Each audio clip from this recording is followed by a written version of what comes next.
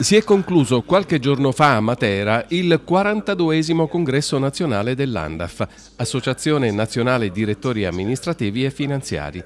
Una due giorni intensa in cui il tema è stato la cultura, valore per l'economia e guida nell'evoluzione dei modelli organizzativi e di sviluppo.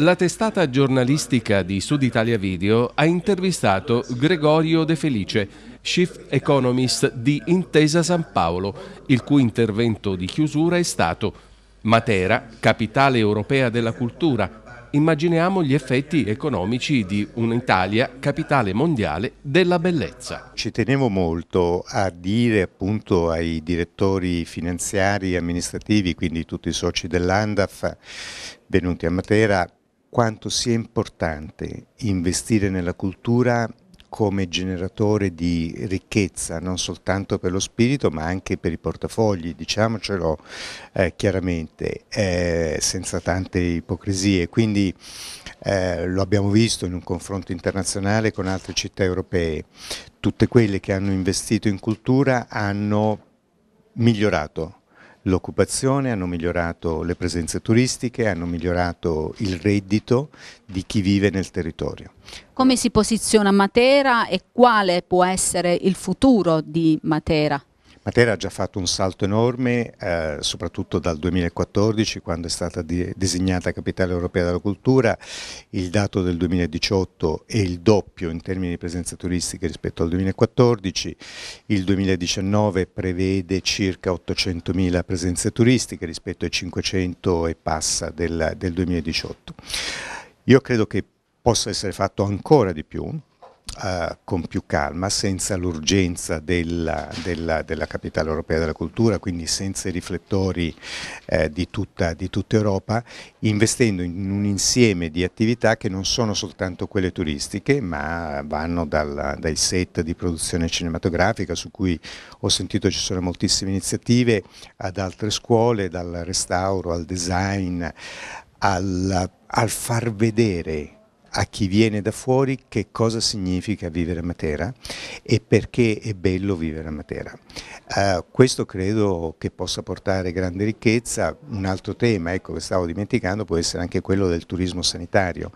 Eh, venire a curarsi in una città come questa naturalmente hai bisogno poi di strutture adeguate, di strutture all'altezza per accogliere il, uh, il paziente tedesco-francese che decide di fare una convalescenza in una città così bella e così affascinante. Nel suo intervento un focus specifico sulla potenzialità delle imprese culturali e creative. Sì, eh, sono 120 imprese che noi abbiamo intervistato, tutte vogliono crescere, tutte vogliono investire, abbiamo anche chiesto, perché non può essere sempre tutto bello, quali sono i fattori di ostacolo e principalmente c'è la burocrazia, l'incertezza sui finanziamenti pubblici e eh, la disponibilità di eh, personale qualificato, quindi il capitale umano. Allora, tra le cose da fare certamente è importante quello di investire sui giovani, quello di formare, di avere una formazione adeguata che va dalla tecnologia al uh, cameriere, al, a chi lavora come operatore turistico per offrire un servizio veramente adeguato, un servizio di eccellenza e quindi un servizio pari all'eccellenza che abbiamo nella città. Dopo il 2019, tre obiettivi da raggiungere. Ma io direi non soltanto come presenze turistiche, è un dato importante, ma è un dato parziale.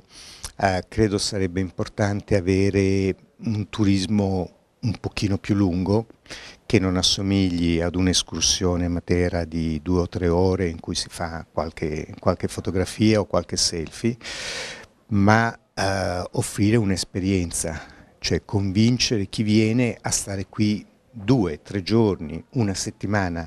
Per farlo devi mettere insieme un pacchetto che non consideri probabilmente soltanto la città di Matera, ma anche eh, dei meravigliosi comuni limitrofi da Craco, Montescaglioso, Miglionico, Tricarico e così via.